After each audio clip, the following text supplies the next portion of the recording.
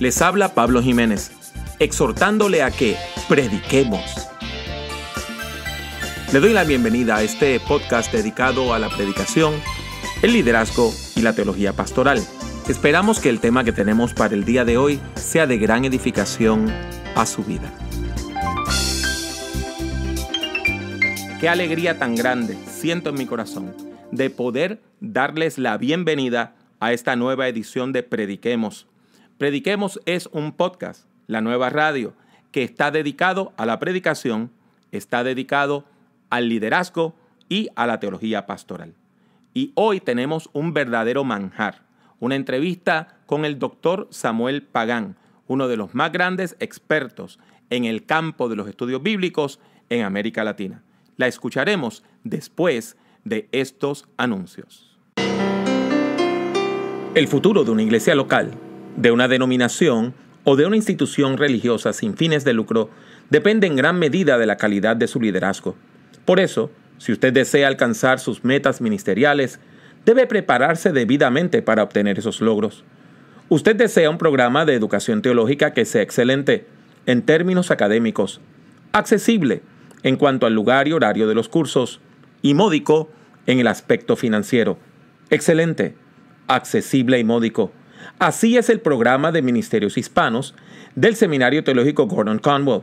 Excelente porque contamos con una facultad reconocida internacionalmente.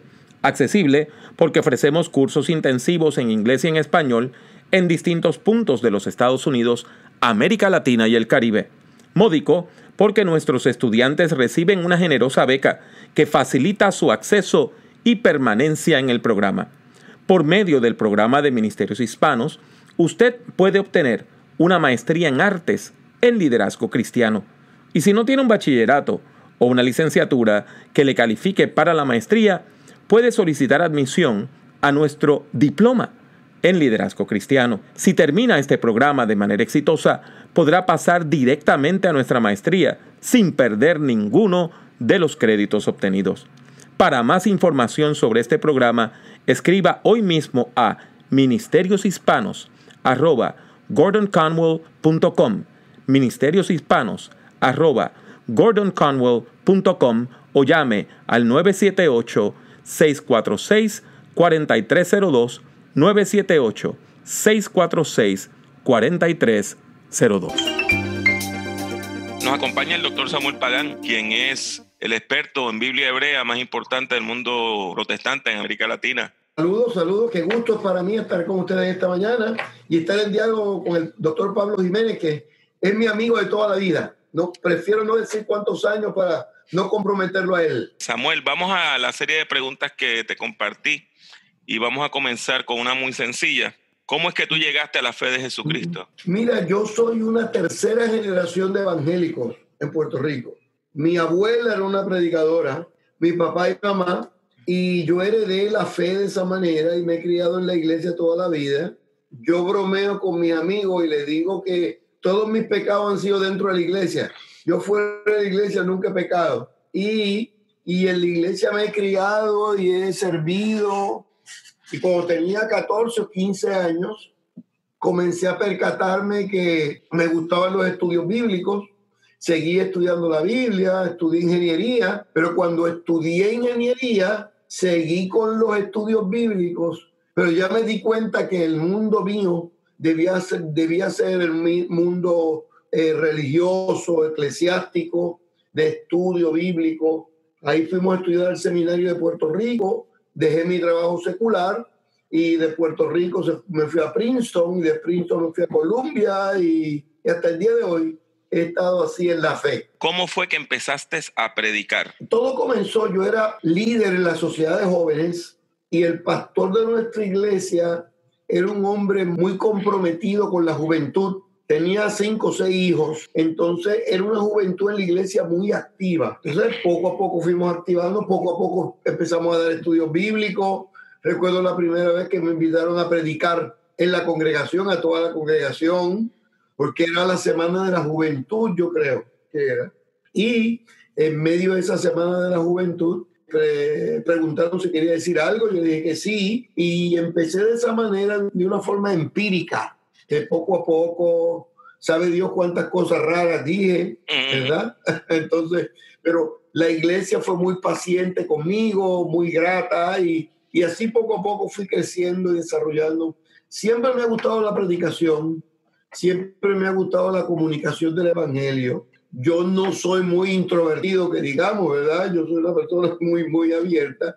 Y la predicación me dio un foro para yo hablar y decir lo que sentía desde la perspectiva de la fe. Claro, en ese momento yo no me daba cuenta, pero poco a poco me fui percatando de ello hasta que eh, llegué al seminario y empecé a tomar cursos de homilética.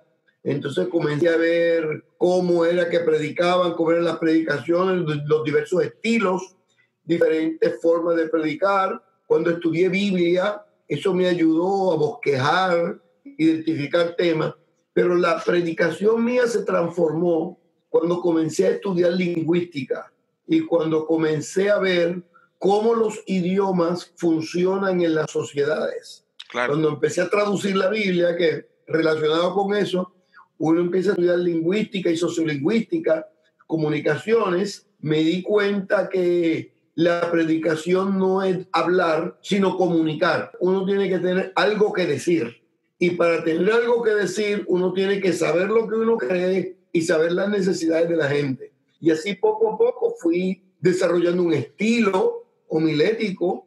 Mi estilo homilético realmente es temático, exegético, pero es más bien temático. Yo cojo un tema y explico un texto bíblico. En la, predica, en la comunicación del Evangelio me gusta la literatura.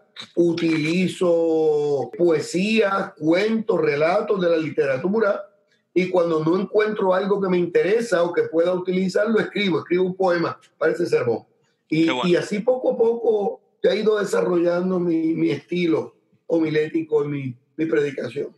Mencionaste a el pastor de tu juventud y te pregunto, ¿qué otras personas junto a él verdaderamente se convirtieron como en tus modelos, como las personas que tú decías, yo quiero hacer eso, yo quiero personas que te han tenido un gran impacto en, en, en, tu vida homilética? Mira, desde la perspectiva de, de la faceta inicial, mi pastor, López Díaz López, fue un gran predicador y una influencia nuestra. Segundo, cuando yo escuché predicar a Miguel Ángel Morales por primera vez, me, me quedé impresionadísimo porque era un gran comunicador, muy educado, muy estudiado, con muchos recursos, y ese también me impresionó. Claro, y además muy carismático, muy bien. Con el paso del tiempo conocí otras personas que me, que me alinearon en diferentes componentes de la homilética y de la predicación. Por ejemplo, con Bonilla yo aprendí el uso correcto del español, no el uso regionalista no el uso, no el uso eh, localista, local, regionalista, dialectal del español de Puerto Rico. Entonces Plutarco me una amplitud de que fuéramos cuidadosos con la predicación, que comunicara de manera efectiva.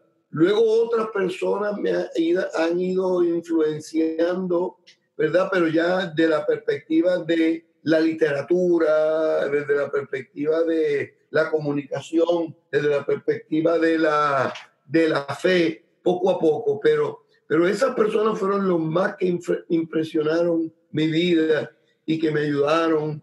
Y lo otro fue la práctica, práctica de la predicación.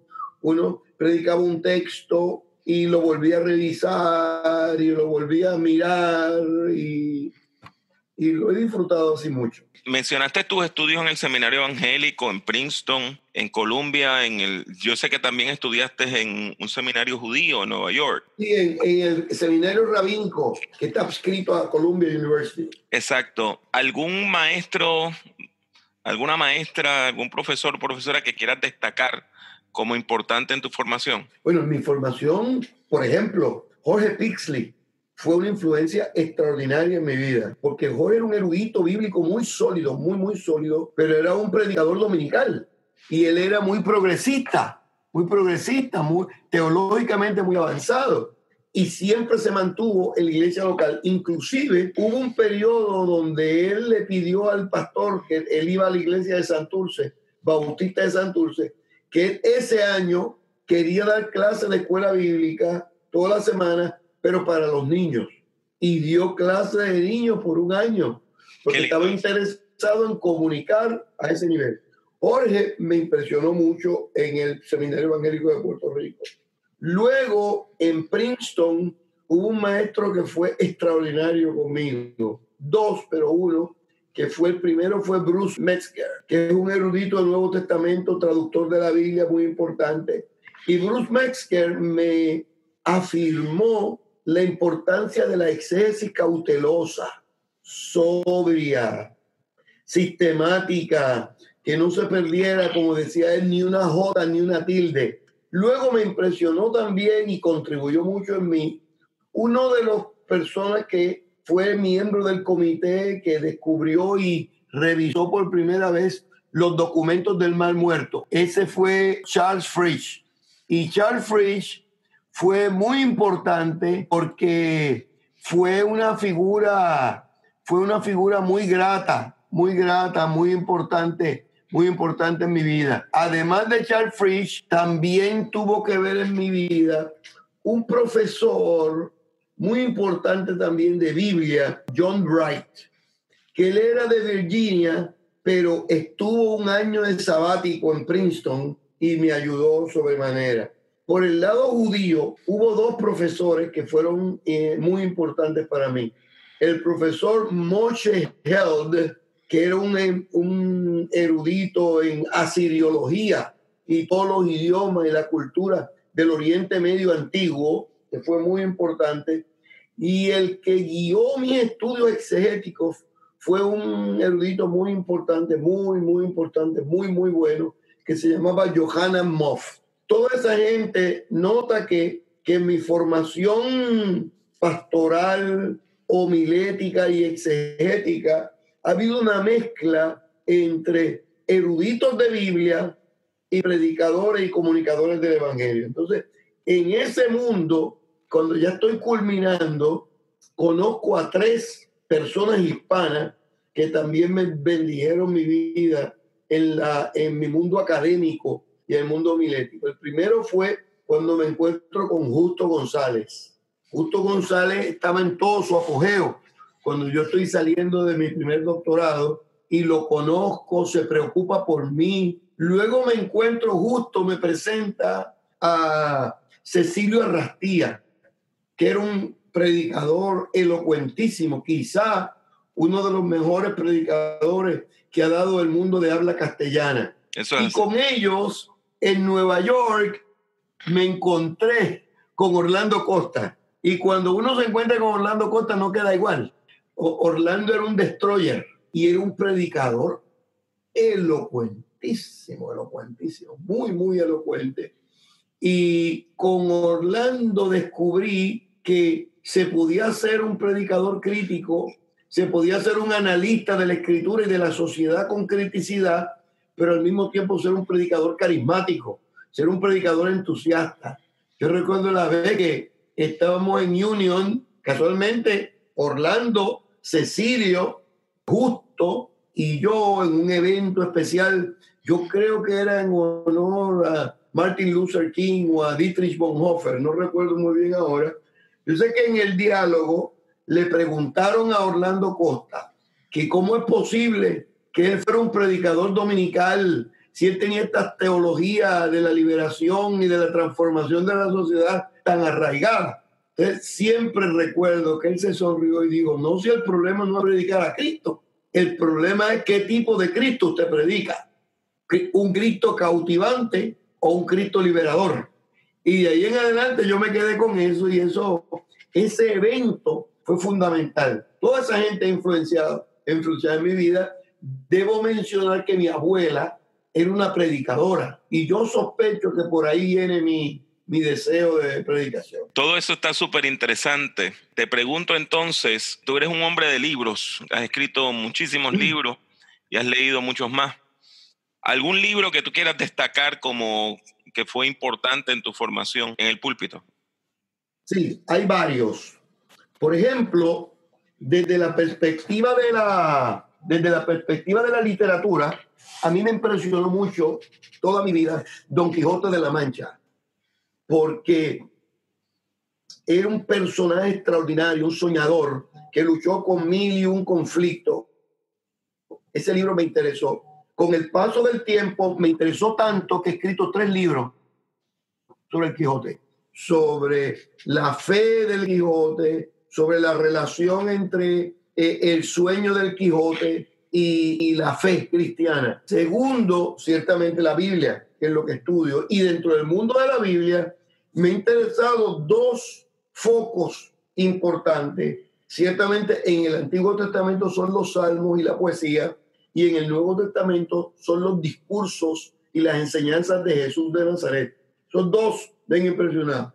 Desde la perspectiva de la poesía y de la literatura latinoamericana, Benedetti ha sido para mí un poeta extraordinario. Algunos clásicos, Neruda ha sido importante, Gabriela Mistrada ha sido importante, Octavio Paz ha sido importante, pero desde la perspectiva de la relación entre la literatura y la, y la comunicación del Evangelio, posiblemente fue Benedetti que no es que digamos que se distinguía mucho por su fe, no es que digamos que él haya sido un hombre fue muy, muy, muy grande, porque no, no transmitía la fe, pero transmitía valores que me han ayudado a mí a la comunicación del Evangelio.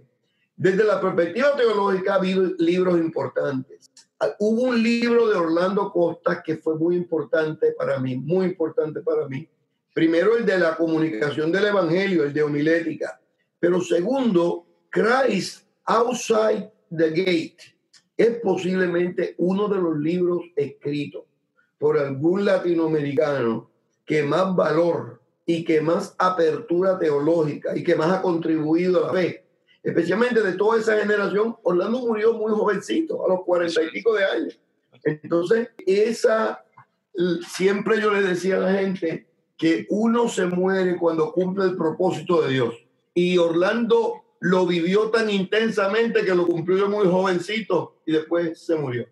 Hay varios eh, de historia bíblica, de exégesis bíblica, de teología bíblica. El de John Bright, el de historia de Israel, fue muy importante para mí. Fue muy importante para mí también. Hay un libro de Norman Gottwald, muy importante, porque trabajó con la sociología de la llegada de los hijos y las hijas de Israel a, Canaán, una, una lectura más sociológica de la dinámica de la conquista de Canaán, que me abrió la puerta a mí para ver que la entrada no fue tan fácil, fue una entrada complicada y me ayudó a entender que la vida es así, pero la, la Biblia presenta únicamente el relato que afirma la virtud teológica y la, la importancia teológica de la narración. Ese fue muy importante para mí el libro de Norman Goldwald. Y así otros, que yo he estado siempre muy cerquita de los libros, y, y pero esos, esos libros siempre han sido de ayuda para mí. Ya nos has hablado un poco acerca de tu estilo de predicación y de tus textos ancla. El comentario tuyo de los salmos ha marcado un hito en la erudición bíblica latinoamericana y verdad los recomendamos a todas las personas que puedan adquirirlo. En términos de temas, tú hablaste de que eres un predicador temático. Eh, ¿Nos puedes hablar de algunos de los temas recurrentes a los cuales tú vuelves siempre en la predicación? Mira, yo la verdad de Dios es que yo soy un predicador de la esperanza. Yo descubro en Molman la teología de la esperanza muy temprano en el seminario y descubro que la sociedad vive en una serie de desafíos que tienen corte fiscal, político, económico, social, interpersonal, de familia, de pasado, de eh, sociología. O sea, el ser humano vive unas complejidades que necesita tener motivaciones para vivir. Y yo me he descubierto a mí mismo que el tema de la esperanza es un tema recurrente en mi predicación. Entonces mi estilo es un estilo temático, toca el tema de la esperanza, de la restauración, el tema de la, de la reconstrucción de la vida. cuando uno mira así mis libros, yo he escrito ya 52 libros, pero cuando noto sí, los primeros libros que escribí, por ejemplo, mi tesis doctoral, la primera tesis doctoral que escribí, la escribo en el exilio. O sea, eh, sobre el tema del exilio del, del, pueblo de Israel cuando están en Babilonia. Y el título del libro fue La resurrección de la esperanza. Mi primer libro, primer libro. O sea que ya yo noto que desde temprano en mi peregrinar por la vida y en mi experiencia homilética y docente, ya el tema de la esperanza comienza a manifestarse, comienza a manifestarse. Eh, era momento, yo empiezo a predicar en los años 70, cuando la teología latinoamericana estaba dando sus primeros pasos.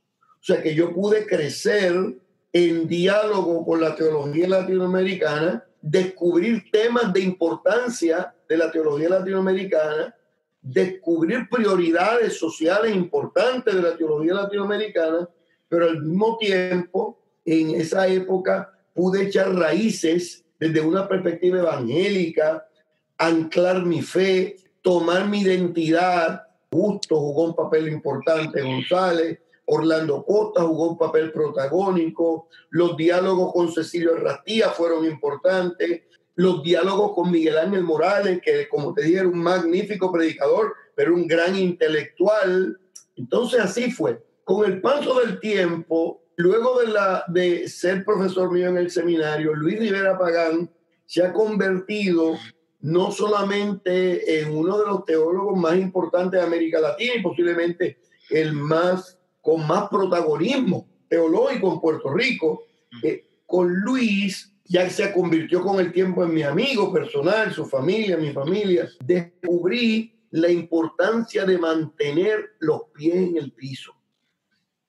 Que la predicación de la esperanza puede hablar del más allá, pero la virtud del más allá es que tiene los pies bien puestos en el más acá. Y ve que mi, mi trayectoria has recibido influencias de diferentes ángulos teológicos y perspectivas teológicas. Por eso es que tú notas en mis temas temas progresistas, pero a la vez temas eclesiásticos tradicionales, porque así es que me he formado. Te quería preguntar también, hablando ahora de América Latina, ¿cuál tú pensarías, a tu criterio, cuál es la necesidad más grande que tiene el púlpito latinoamericano hoy? Mira, yo me encontré con América Latina cuando yo tenía 19 años, 18 años, yo sí menos, 17 años, eh, la iglesia, casualmente con Miguel, Miguel Ángel Morales, formó un programa y la iglesia de Puerto Rico tenía contacto con la iglesia eh, pentecostal de Venezuela, con la Unión Evangélica Pentecostal Venezolana. Entonces había programas comunes. Y en, en esa época, con Miguel Ángel, yo fui a Venezuela por primera vez y me encuentro con el mundo venezolano, me encuentro con la iglesia latinoamericana y me encuentro con una iglesia como la iglesia pentecostal venezolana que era muy carismática, que era muy, muy pentecostal, pero con una conciencia social desarrollada, de una manera tremenda, de una manera muy fuerte.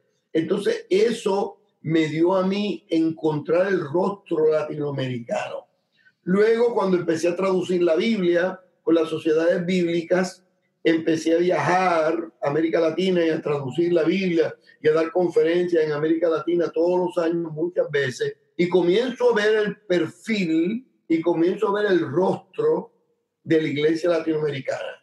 Luego de, no sé, 45 años predicando más del Evangelio, me doy cuenta que la iglesia latinoamericana es una iglesia creciente, es una iglesia que tiene carisma, tiene la virtud de Dios. Es una iglesia que ha tocado la sociedad. O sea, nosotros tenemos iglesias metidas en comunidades de pobres haciendo una labor encomiable. Tenemos iglesias en clase media, clase media alta, clase alta, también haciendo una, una, una contribución. Pero yo creo que el desafío mayor es cómo hacer la transformación de la sociedad. Nosotros hemos tenido éxito en la transformación de individuos, muchos individuos. Eh, uno nota, por ejemplo, yo no sé cuántos programas en contra de la adicción a droga nosotros tenemos en América Latina. Y según los estudios sociológicos que se han hecho, especialmente en Estados Unidos, también en Puerto Rico, los ex adictos a drogas que más posibilidades tienen para mantenerse libres de la droga con el paso del tiempo son los que pasan por programas cristianos. Son los que están relacionados la iglesia. Interesante. Yo no hubiese pensado eso nunca en mi vida, pero me enteré hace 10 o 15 años con un estudio que se hizo de Teen Challenge. O sea que uno nota que la iglesia ha contribuido positivamente por ahí. Uno nota que la iglesia ha contribuido en la familia, en educar los jóvenes para que traten de evitar los divorcios antes de casarse. Eso ha sido importante. Uno nota que la iglesia también ha contribuido en individuos con las juventudes, programas de juventud, programas de damas y programas de caballeros. Pero uno nota que la sociedad como estructura, mientras la iglesia sigue creciendo por un lado, la corrupción política y social sigue creciendo mientras la iglesia va desarrollándose en México y en Guatemala y en Bolivia y en Argentina y Chile, al mismo tiempo la corrupción es mayor. Entonces a veces algunos gobernantes evangélicos llegan a los gobiernos y en vez del gobernante contribuir positivamente y transformar la sociedad con los valores evangélicos, esa sociedad corrupta afecta al gobernante y muchos de los gobernantes evangélicos han caído en los mismos problemas que tienen los restos de los gobernantes en América Latina. Entonces, yo creo que ese ángulo de cómo convertir el sermón, que además de salvar el individuo, contribuya positivamente a la transformación de la sociedad, muy importante. Yo creo que ese es un área que en los próximos 10, 20 años nosotros vamos a tener que tocar y vamos a tener que ministrar. Eh, Samuel, yo sé que tú no eres una persona que habla de tus logros, pero mm. háblanos de algunos de los grandes logros, por lo menos uno de las cosas que ah. Más satisfacción te han traído en tu carrera como predicador. Mira, me pusiste dura. Quizá algunos libros, la publicación de algunos libros, el libro de los Salmos, me trajo mucha satisfacción, mucha satisfacción. El libro sobre Jesús de Nazaret, ha sido un libro que ha llegado con fuerza, fuerza, fuerza, miles y miles y miles de libros. Escribí otro que se ha distribuido muy bien también y es sobre el rey David, que este año fue premiado casualmente por la Cámara de Comercio secular, por la Cámara de Comercio Dominicana, aquí en Estados Unidos. se le va a dar un, un, un homenaje a final de julio. El libro de introducción a la Biblia hebrea los libros me han dado mucha satisfacción. Las traducciones de la Biblia me han dado mucha satisfacción. cuando yo veo que la Biblia, nueva versión internacional, llega con fuerza a diversos sectores, me siento orgulloso. Cuando yo veo que la Biblia Plenitud, que es una de las Biblias en español que más ediciones y volúmenes ha vendido en la historia de las Biblias de estudio en español, la Biblia Plenitud que yo también edité, eso me hace sentir muy orgulloso del trabajo académico que uno hace, del trabajo pastoral. Ahora estoy en un nuevo proyecto para una Biblia para niños y niñas de quinto grado, eh, que también me ha traído mucha satisfacción. Y eso es lo que hago, disfrutar por todo ese mundo de Dios. Y entonces vamos al otro lado de la moneda. ¿Algún momento que tú encontraste difícil en tu carrera como predicador, de esos momentos donde uno quiere tirar la toalla y decir, bueno, hasta aquí llegué? Yo he vivido un ministerio y una vida ministerial con mucha satisfacción. Mis colegas hablan de los problemas que han tenido, de las dificultades. Yo he sido un pastor modesto, sencillo. He tenido diferencias de opinión con colegas, con miembros, pero yo no te puedo identificar un momento magno que diga cómo es posible esto. Lo más que hiere a uno son actitudes de personas que por la espalda critican a uno, ese tipo de cuestión. Pero yo decidí hace mucho tiempo que no le iba a hacer caso a las críticas por ser críticas. Le iba a hacer caso a las críticas para yo mejorarme. Entonces cuando llegué a esa conclusión, personas que no están de acuerdo con uno, especialmente en el mundo administrativo. Uno tiene que tomar decisiones administrativas. Uno se encuentra que, que hay personas que, que tienen diferencias de opinión pero yo, yo vivido una vida con mucha satisfacción, con mucho logro. Yo no te puedo identificar un momento que yo haya dicho, ya yo no voy a predicar más o yo no voy a enseñar más. No, no. Sino que lo he interpretado como parte de la, de la vida, de la sociología. Cuando yo aprendí muy temprano, casualmente desde de Miguel Ángel, que cuando uno comienza a crecer y crecer y crecer y crecer, se va elevando y más personas quedan abajo. Y mientras más uno sube, más personas quedan abajo. Entonces más personas te critican. Entonces, con Don Quijote comencé a entender que, que si los perros te ladran, es porque tú estás avanzando. De tus publicaciones, que ya dijiste que son más de 50 y que de paso eres el, la persona puertorriqueña con más libros publicados. Eh, en este, eh, de acuerdo a... Dice el boricuazo. Exactamente. Yo destaco comentario de los Salmos como una contribución extraordinaria tu libro de introducción a la Biblia hebrea es el libro de texto para usar. Eh, yo recuerdo con mucho amor un libro tuyo que se llamó Púlpito, Teología y Esperanza, que era una colección de, de primeras publicaciones, el de Apocalipsis, Visión y Visión. Ahí comencé a unir exégesis, teología y poesía en ese libro. Eh, ¿Algún otro libro que le quieras recomendar a nuestra audiencia de, tu biblioteca, de, tu, de los libros que tú has producido? ¿Algún otro que no hayamos mencionado quizá que tú quieras llamarle la atención a la audiencia? Mira, sí, hay uno que se distribuyó muy bien, pero no se reeditó después más, que yo lo disfruté cantidad y ahora tiene tanto pertinencia. Se llama El Santo de Israel.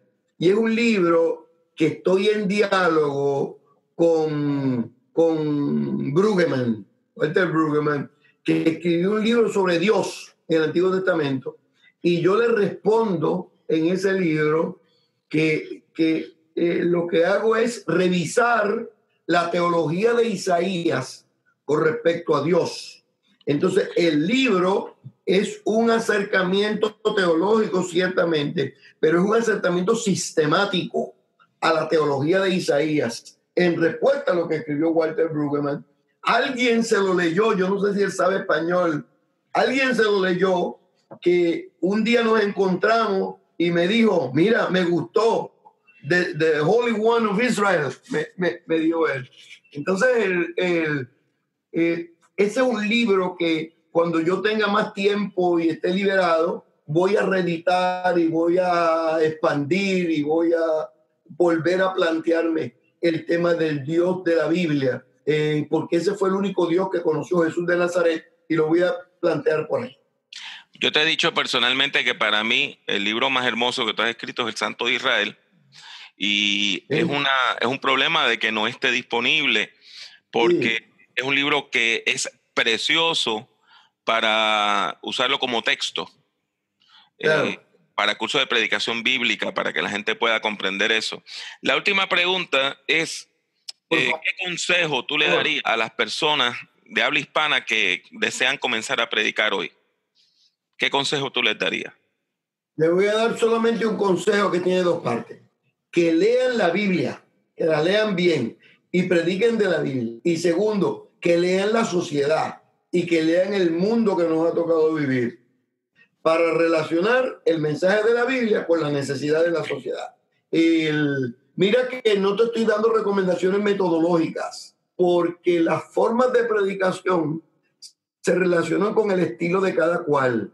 Sin embargo, la lectura de la Biblia te da temas, te da perspectivas, te da metodología y la lectura de la sociedad identifica las necesidades de la gente y al identificarla con el contenido y con la necesidad, tú puedes proyectarte, proyectarte al futuro con fuerza. Antes de terminar, quiero que nos hables de algo sumamente importante que tú haces, y es que tú eres de las personas, de las pocas personas eruditas en el mundo de habla hispana que llevas grupos a Israel.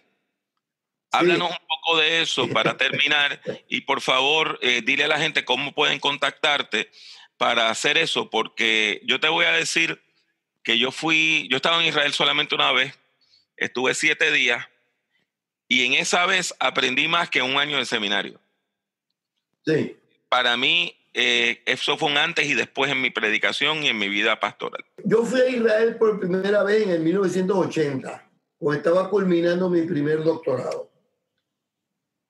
Y cuando llegué allí, jovencito yo, cuando llegué, yo le escribí, no había internet en esa época, ni mensajes de texto, ni emails. Le escribí una carta regular a Noemí y le dije, un día nos vamos a mudar acá, porque quedé tan impresionado. Y de ahí en adelante, las sabáticas las pasaba allá en Israel, eh, en Tantur, en la, la escuela de teología avanzada, y fue para mí un gusto, un gozo extraordinario, extraordinario cuando culmino la presidencia del Seminario Evangélico de Puerto Rico, debo decidir para dónde voy a ir a largo plazo. Estaba joven todavía. Y siempre me invitaban a Israel, siempre me invitaban a Israel, pero los nietos estaban pequeños, yo no los quería dejar. Samuelito se había casado, Luis Daniel también, pero los nietos estaban pequeños en el 2007. Pero finalmente fuimos por un año. Uno se convirtió en dos, tres en cuatro, en cinco. Y cuando ya nos regresábamos en el 2012, me nombraron decano del Centro de Estudios Bíblicos en Jerusalén, que es un centro de educación continua que tiene más de 40 años, pero que le sirve a universidades y seminarios de habla inglesa. Y tiene un programa muy bueno, muy extenso. Entonces me pidieron que relacionara el Centro de Estudios Bíblicos con las comunidades hispanas. Creamos un currículo el primer peregrinar se creó relacionado con mi libro de Jesús de Nazaret. Entonces yo digo que hay tres focos del ministerio geográfico del ministerio de Jesús, está Jerusalén, Belén y Jericó y el Mar Muerto y la Galilea. Y ese primer, ese primer peregrinar lo organizamos así. Una historia larga, corta, es que de 35 personas que empezamos en el 2012, 2013, y este año llevamos más de mil. Ha crecido de manera extraordinaria y poco a poco vamos desarrollando y creciendo y añadiendo más cosas. Yo personalmente creo que todos los predicadores y las predicadoras deben ir a la Tierra Santa para conocer el mundo de Jesús, el de los profetas, el de los patriarcas, de las matriarcas, conocer la geografía bíblica, eso es muy, muy importante. Es un lugar importante porque en este momento hay un foco de tensión importante entre la comunidad israelí y las comunidades palestinas. Y yo creo que en uno de los lugares del mundo donde la fe tiene que ejercerse con más autoridad y con más gracia, con más visión, con más profetismo, con más consagración, en el Oriente Medio, porque donde todo comenzó para la fe cristiana en Belén de Judea, donde, donde se escribieron los documentos que son tan importantes para nuestra fe, eso está en un momento de tensión que nosotros tenemos que, por todo lo que podamos hacer, que podamos contribuir, aunque sea de manera modesta, debemos contribuir a la paz, como dice el texto bíblico, oramos y contribuimos, yo le añado, a la paz de Jerusalén. Yo invito a todas las personas que estén interesados, se pueden comunicar conmigo. Mi email es doctorsamuelpagan.aol.com. Mi página web es doctorsamuelpagan.com. Es más difícil que eso se me olvida, por eso lo pongo ahí muy sencillito. Y todo eso, esos, esas experiencias son fundamentales porque lo hemos llamado que son viajes educativos peregrinares educativos fundamentados en la fe. Y eso es lo que ha hecho de nuestro programa una diferencia con respecto a los demás que por ahí estamos creciendo. Pues Samuel, mil gracias por este tiempo que nos has dado. Ha sido una conversación fascinante y esperamos en el Señor que tú sigas produciendo libros y transformando vidas con esos peregrinajes. Sabemos que mientras tenga vida vas a seguir ocupando el púlpito latinoamericano y honrándolo en el nombre de nuestro Señor Jesucristo. Les habla una vez más Pablo Jiménez. Deseo darle las gracias por escuchar este podcast. Si desea escuchar o ver algunas grabaciones adicionales, estas son las opciones. Suscríbase a Prediquemos por medio de iTunes o de su aplicación favorita para descargar audio desde el Internet. Si ha disfrutado de este programa, le ruego que deje una valorización positiva del mismo, ya que eso ayudará a que otras personas puedan encontrar nuestro podcast. Visite nuestra página en el internet drpablojiménez.com. Allí encontrará centenares de documentos en texto, audio y vídeo relacionados a la predicación, la teología pastoral y el liderazgo cristiano. El acceso a todos estos documentos es completamente gratuito. En YouTube, acceda a mi canal, que también se llama Dr. Pablo Jiménez. Allí hay más de 800 vídeos de sermones, conferencias y además algo de música cristiana. En las redes sociales me consigue utilizando el mismo nombre, Dr. Pablo Jiménez. En particular, puede encontrarme en Twitter, Facebook, LinkedIn, Tumblr y también en Instagram, entre otras redes. Y si desea comprar algunos de mis libros, tales como Principios de Predicación o Predicación en el siglo XXI, tiene dos opciones. La primera es ir a la sección de libros en mi página drpablojiménez.com. La otra es ir directamente a amazon.com y colocar mi nombre, Pablo Jiménez, en el buscador. Ha sido mi placer tenerle en este podcast. Que Dios le bendiga mucho y que Dios le bendiga siempre.